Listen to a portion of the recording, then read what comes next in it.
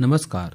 आज हमारे साथ हैं 2018 वर्ष के शांति स्वरूप भटनागर पुरस्कार से सम्मानित प्रोफेसर नितिन सक्सेना। ये पुरस्कार गणित के क्षेत्र में कॉम्प्लेक्सिटी थ्योरी पर उनके द्वारा किए गए कार्य हेतु मिला है। वर्तमान में ये आईआईटी कानपुर के कंप्यूटर साइंस विभाग से जुड़े हुए हैं। तो आइए बात करते हैं प्रोफेसर नितिन सक्सेना से। नमस्ते, सर। सबसे पहले तो बधाई आपको ये पुरस्कार पाने के लिए। और हम चाहते हैं कि आप हमारे श्रोताओं को अपनी रिसर्च बारे में कुछ बताइए। बिल्कुल। नमस्ते। मेरा जो रिसर्च है, बीज गणित, जटिलता सिद्धांत में, जिसका इंग्लिश होती है एल्जेब्राइक कॉम्प्लेक्सिटी थ्योरी तो जटिलता का मतलब ये है कि जो आपकी जो प्रॉब्लम्स होती हैं, जो कंप्यूटर साइंस की प्रॉब्लम्स होती हैं, वो प्रॉब्लम कितनी जटिल है या कितनी सरल है, ये हम समझने का इसमें प्रयत्न करते हैं।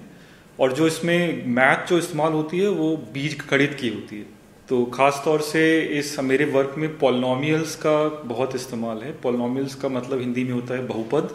कोई पोलोमियल कितना मुश्किल है या कितना सरल है इसको हम समझने की कोशिश करते हैं उसको सर्किट के फॉर्म में लिख के।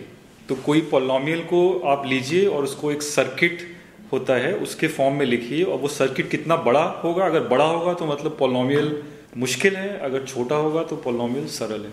और इसका मतलब सीधा होता है समय से कि आपको अगर वो पोलोमियल को अगर आपको कंप्यूट करना है तो अगर सर्किट बड़ा होगा तो ज़्यादा समय लेगा, ज़्यादा संसाधन उसमें लगेंगे। अगर सर्किट छोटा होगा तो कम समय लेगा उसमें संसाधन कम खर्च होंगे। ये प्रॉब्लम वैसे तो अपने आप में अमूर्त है मतलब एब्स्ट्रैक्ट प्रॉब्लम है, लेकिन इसका इस्तेमाल प्रैक्टिस में भी होता है। स्पेशली इसका इस्तेमाल होता है क्रिप्टोग्राफी में इंटरनेट सिक्योरिटी में कंप्यूटर्स में। जब डेटा को जब आप स्टोर करते हैं, उसका इस्तेमाल करते हैं तो उसमें जो त्रुटियाँ होती हैं, उसमें सुधार करने में मतलब एरर करेक्शन में इसका यूज़ होता है। कई सारे प्रॉब्लम्स एल्जिब्राइक होती हैं उनके लिए एल्गोरिदम जो पर बनाना होता है एल्जिब्रिक एल्गोरिदम्स उसमें इसका इस्तेमाल होता है। सर मतलब कि जटिल चीज़ों को सरल करना और कम से कम रिसोर्सेस में प्रॉब्लम्स का सोल्यूशन निकालना आपके रिसर्च का उद्देश्य रहा है। हमारे जो कंप्यूटेशनल रिसोर्सेज होते हैं मतलब गणना करने के जो संसाधन हैं उनको हमें कोशिश तो ये होती है प्रयत्न ये होता है कि हम संसाधनों को कम करें मतलब समय को कम करें प्रॉब्लम सॉल्व करने के लिए और जितना वो स्पेस खर्च करता है जितना फॉर एग्ज़ाम्पल आपकी हार्ड डिस्क जितना खर्च करता है उसको कम करें। सर अब हम जानना चाहेंगे कि आप गणित को एक विषय के रूप में कैसे देखते हैं और हमारे जीवन में गणित का क्या महत्व है? ये गणित बहुत ही पुराना विषय है और जब से जब से ह्यूमन बींग्स इंटेलिजेंट हुए हैं तब से ही ये गणित बनना शुरू हो गया था। इनफैक्ट सबसे पहले लोगों ने गिनना ही से सीखा था नंबर्स कि उनके सामने अगर बहुत सारे ऑब्जेक्ट्स हैं तो वो कितने ऑब्जेक्ट्स हैं? वो ज़ीरो है या एक है या दो है या तीन है? तो नंबर सबसे पहले शुरू हुए थे, एक तरह से ह्यूमन इंटेलिजेंस का वो पार्ट है लॉजिक का भी पार्ट है। तो गणित बहुत पुराना है और हमारे देश में ख़ास तौर से गणित में हज़ारों सालों पहले भी काफ़ी नई नई चीज़ें चीज़ों का आविष्कार हुआ था नए नए कॉन्सेप्ट्स का आविष्कार हुआ था, जो फिर दूसरे, जो बाहर की दुनिया में फिर फैली, उसका फिर आगे इस्तेमाल हुआ विज्ञान में। तो आप देखेंगे कि विज्ञान में मतलब साइंस में अभियांत्रिकी में मतलब इंजीनियरिंग में कंप्यूटर्स में स्मार्टफोन्स में, उनके सॉफ्टवेयर में, उनके हार्डवेयर में इंटरनेट में, हर जगह जो उनका जो मूलभूत, जो सैद्धांतिक तौर पर जो चीज़ें हैं, वो सारी गणित पर ही बेस्ड हैं। क्योंकि इन सभी चीज़ों में कहीं ना कहीं एल्गोरिदम का इस्तेमाल होता है और जो एल्गोरिदम होता है, वो एक्चुअली गणित से ही आता है। तो उसका आविष्कार करने में और उसका अध्ययन करने में दोनों में ही गणित का इस्तेमाल होता है। और इनफैक्ट प्रोग्रामिंग जो होती है प्रोग्रामिंग में भी गणित का अच्छा होना आपका ज़रूरी है। अगर आप गणित में अच्छे नहीं हैं तो प्रोग्रामिंग में भी आपका, आपको दिक्कतें आएँगी क्योंकि उसके लिए गणित या लॉजिक में स्ट्रांग होना आवश्यक है। सर, थोड़ा सा आप हमें कॉम्प्लेक्सिटी थ्योरी के बारे में भी बताएँ। सरल भाषा में समझाएँ कि ये होती क्या है और कैसे काम करती है। कॉम्प्लेक्सिटी थ्योरी मतलब जटिलता सिद्धांत वो कंप्यूटर साइंस का एरिया है जहाँ पर कि जो प्रैक्टिकल प्रॉब्लम्स होती हैं, जिनको आप रोज़मर्रा के जीवन में जिनका इस्तेमाल होता है, उनको कंप्यूटर के द्वारा आपको करना है हल।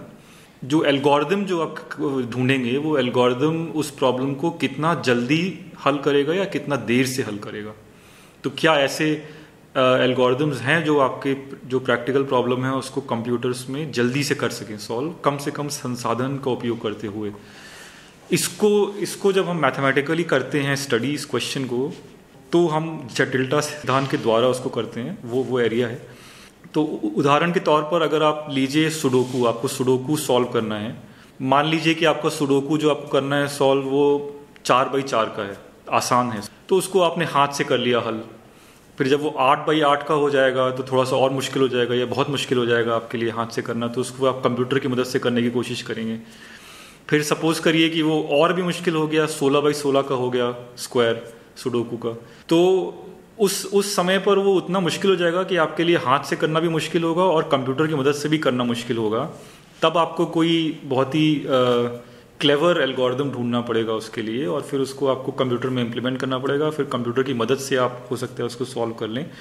लेकिन ये कितना, ये जो मुश्किल है, ये किस तरह से बढ़ रही है? अगर सोलह बाई, चार बाई चार से आठ बाई आठ से सोलह बाई सोलह तक पहुँचने में किस तरह से बढ़ रही है? और आगे अगर आप और बढ़ते हैं तो वो किस तरह से बढ़ेगी? बिल्कुल सर, गणित का महत्व तो इस आधुनिक युग में किसी से छुपा हुआ नहीं है। आगे हम आपसे ये जानना चाहेंगे कि बच्चों की गणित में रुचि कैसे उत्पन्न की जाए? दरअसल ऐसा देखा गया है कि बच्चे जनरली गणित विषय से थोड़ा दूर भागते हैं।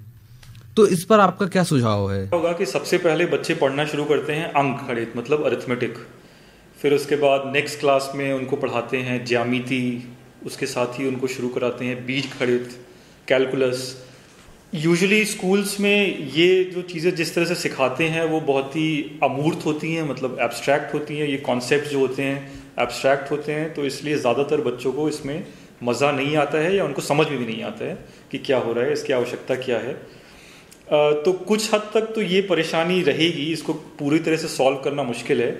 लेकिन अगर टीचर्स ये कोशिश करें कि इन अमूर्त चीज़ों को किस तरह से प्रैक्टिस में इस्तेमाल होना है, अगर ये सिखाने की कोशिश करें, ये बोलने की जगह कि ये सब चीज़ें एब्स्ट्रैक्ट हैं आप एब्स्ट्रैक्ट कॉन्सेप्ट का एग्जाम्पल्स भी दें। एग्जाम्पल्स का मतलब है कि आप किस तरह से ये इन प्रैक्टिस मतलब अनुप्रयोग इसका क्या होता है इसका उदाहरण क्या होता है? और उदाहरणों में भी सबसे पहले आप सरल उदाहरण कर शुरू करें। तो जो बच्चों का इंटरेस्ट मैथ्स में ख़त्म हो गया है या नहीं है वो लोग शायद इसमें इंटरेस्टेड हों। गणित को आ, सीखने और सिखाने का श्रेष्ठ तरीका है आ, सरल उदाहरण और अनुप्रयोग के द्वारा समझाना। अब जैसे अगर अगर आप ये बच्चों को समझाने की कोशिश करें कि उनके फ़ोन से जो कम्युनिकेशन होता है बैंक के साथ, या उनके फ़ोन से जो कम्युनिकेशन होता है गूगल या जीमेल के साथ, वो सारा इंटरनेट सिक्योरिटी जो उसमें इस्तेमाल होती है गणित पे ही आधारित है और ख़ास तौर से बीज गणित और संख्या सिद्धांत का उसमें इस्तेमाल होता है। इतनी ज्ञानवर्धक बातें हमसे करने के लिए और अपना बहुमूल्य समय हमको देने के लिए धन्यवाद।